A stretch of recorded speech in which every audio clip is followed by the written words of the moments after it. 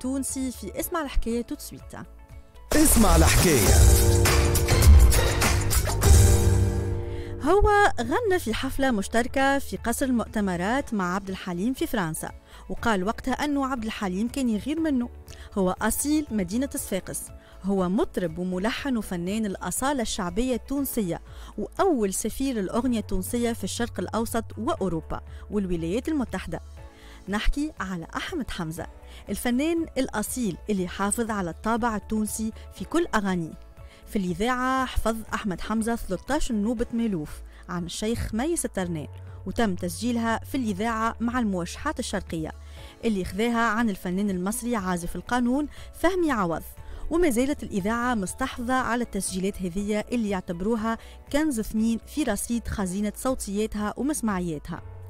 استقرار وإلا آه، آه، كان الاستقرار في تونس لأحمد حمزة واللي خلاه يكون عازف في عديد الفرق الموسيقية في العاصمة مع فرقة المطرب محمد أحمد وعلي رياحي وابو بكر المولدي وشارك في كافي شانتا باب سويقه عام 58 قابل محمد عبد الوهاب في رحلة طولولة للقاهرة ورجع عام 61 في مصر عام 1963 كان ضيف على التلفزة المصرية. وقتها غنى شهلولة وخنابة وهي هي مولاة الخلة الخمرية. وكان معاه وقتها فرقة موسيقية تونسية. وهو وقتها كان حارس أنه يكون موجود مع الفرقة الموسيقية التونسية هذه واللي كانت بقيادة الموسيقار عبد الحميد بالعلجية.